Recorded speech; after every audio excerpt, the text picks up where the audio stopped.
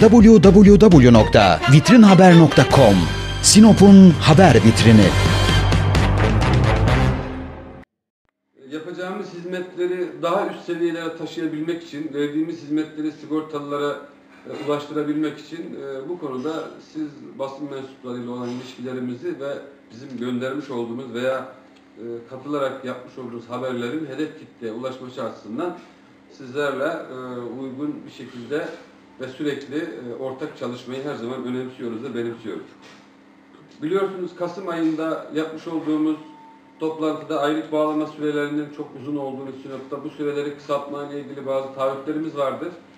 Ee, o zaman 4A'da 30, 4B'de 34 gün olan aylık bağlama sürelerini ilk 6 ayda 20 güne mütakip e, 6 ayda ise 10 gün ve onun altına düşürmeyi hedeflemiştik. E, şu an itibarıyla bu verileri sizinle paylaşmak istiyorum. E, şu anda SSK'da e, 9 güne, Bağkur'da da 15 güne indirdik aylık bağlama sürelerini. Yani bir sigortalı aylık yaşlılık aylığı için müracaat ettiğinde SSK'da 9 ya da 10 gün sonra e, maaşlı sisteme giriliyor e, ve kendisine e, emekli aylığının bağlandığına dair mesaj bir şekilde iletiliyor. E, aylık bağlama sürelerinin kısaltılması kurumun genel itibarı açısından çok önemli. Ayrıca şahsa bağlı ödemeler vardı. Bunlarda büyük gecikmeler vardı. Bu gecikmeleri de artık günübirlik konumuna getirdik. Bu konuda hiçbir sıkıntı yok. Ee, diğer taraftan sigortalılarımızı mutlu ve memnun edebilmek için elimizden gelen bütün çalışma arkadaşlarımla tüm gayretimiyle sarf ediyoruz. Ama takdir edersiniz ki hedef kitlemiz çok geniş, Sinop'un tamamı.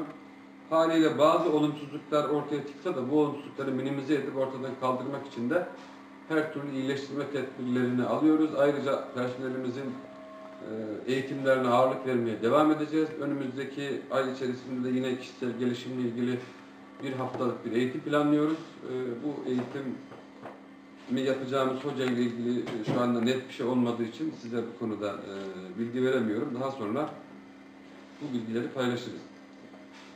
Diğer taraftan il ve ilçelerimizde sosyal güvenlik alanında bilinçli bir sigortalı yaratabilmek için hedef kitlemizi bunun için Ayancık, Türkiye, Boyabat, Gerze ve Duran ilçelerinde sosyal güvenlik alanında köy muhtarları, mahalle muhtarları, sivil toplum kuruluşları, kamu kurum ve kuruluşlarındaki daire amirleri de dahil olmak üzere kaymakamlıklarımızla yapmış olduğumuz organizasyonlarda sosyal güvenlikle ilgili bilgilendirme toplantıları yaptık. Önümüzdeki hafta Sosyal Güvenlik Haftası içerisinde de 17 Mayıs 2013'te Erfelek ilçesinde yine bir toplantı düzenleyeceğiz. Biz şöyle düşünüyoruz, bilinçli bir sigortalının hem kendisine hem de çevresine çok faydalı olduğunu düşünüyoruz. Ayrıca sigortalılar kendi hak ve yükümlülüklerini bilmesinde işlerini kolay ve haklarını koruyabilmesi açısından çok önemli olduğunu düşünüyoruz. Ayrıca yine e, sigortalı sayıları ile ilgili sizinle bilgi paylaşımında bulunmak istiyorum. E, şu an itibarıyla e, 4A'da sigortalı sayımız 22.946. 4B'de yani Bağkur'da 10.620. Emekli sandığına tabi olan 4C devlet memuru da 9.580 kişi var. Toplamda 43.146 sigortalımız var. Emeklimiz ise toplamda 45.799 emeklimiz var.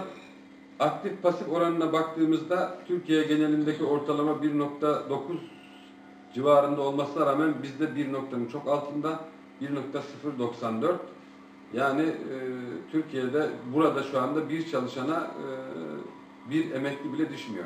Çünkü burası biliyorsunuz Sinop bir emekli şehri. Evet, değerli basın mensubu arkadaşlarımız hızlı, kaliteli ve etkin bir hizmet verme çabası içerisinde e, kurumumuz son yıllarda yaptığı yeniliklerle değişimin öncüsü oldu. Toplumun her kesimini sosyal güvenlik çatısına alındı. Yerindelik ilkesi gereği kurumumuz kurum olarak hizmeti vatandaşın ayağına götürmek için e, Boyabat'ta biliyorsunuz bir sosyal güvenlik merkezimiz vardı.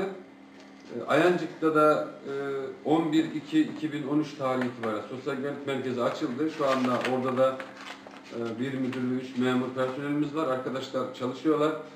Ayancık ve Türkiye'li ilçelerine hizmet ediyorlar. Şimdi e, tabii bu ilçe merkezlerinden Boyabat Sosyal Güvenlik Merkezliği ile ilgili yer sıkıntımız var. Bu e, yer sıkıntımızla ilgili de belediye ile ve kaymakam beyle görüştük. Ancak bize verilen hazinenin yerleri şehrin dışında. Oralara da sigortalılar kolay ulaşım sağlayamayacağı için şehir merkezinden ısrarla belediyeden bir yer istiyoruz. Ama şu ana kadar olumlu bir gelişme sağlayamadık. Boyabat bizim en büyük ilçemiz. Dolayısıyla sigortalı sayısından da, da baktığımızda merkezden sonra en yüksek sigortalısı olan bir yer. Buradaki işlemlerimizi daha aktif bir hale getirmek istiyoruz fakat yer sıkıntımız var. Eğer bir e, yer tespit edebilirsek ve oraya yeni bir sosyal güvenlik konseptine uygun yeni bir sosyal güvenlik merkezi e, yapmayı planlıyoruz. Bu arada sizinle e, 2012 Aralık 2012 tarihi itibariyle biliyorsunuz e, 5084 sayılı yasanın teşvik kapsamındaydı Sinop. O bitti. E, sigortalı kıyaslaması yaptığımızda e, sigortalı sayısında yüzde birlik bir düşüş oldu. Aslında bizim kişisel tahminimiz bu düşüşün daha fazla olacağı yönündeydi ama yeni teşvikle ilgili bazı çalışmaların var olduğu basın tarafında yansıtıldığı için e, şu anda çok öngörmediğimiz e, yani bir düşüş yok. Büyük Yani yüzde bir oranında e, 1400 civarında bir sigortalı sayımızda bir azalma oldu.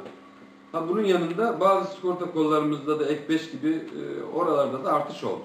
Yani tarım ve orman işlerinde hizmet hakkıyla e, süreksiz çalışanlarla ilgili. Buradan bir şey söylememiz doğru değil. Ancak bizim kurum başkanlığında biz e, bu ayın başında e, geçen ay pardon, Nisan ayında il müdürleri toplantısı yapıldı. Bu teşvikle ilgili aynı soruları hepimiz beraber sorduk. Çünkü böyle bir çalışma var mı yok mu? Bizden böyle bir beklenti var. E, Halkın böyle bir müjde beklentisi içinde olduğunu söyledik. Bir çalışma yapıyoruz ama bu çalışmanın sonucunda hükümet nasıl karar verir e, onu bilmiyoruz dediler. Yani ben size net bir şey söyleyebilmem söz konusu değil. Ama bir çalışmanın varlığından haberimiz var. www.vitrinhaber.com Sinop'un haber vitrini.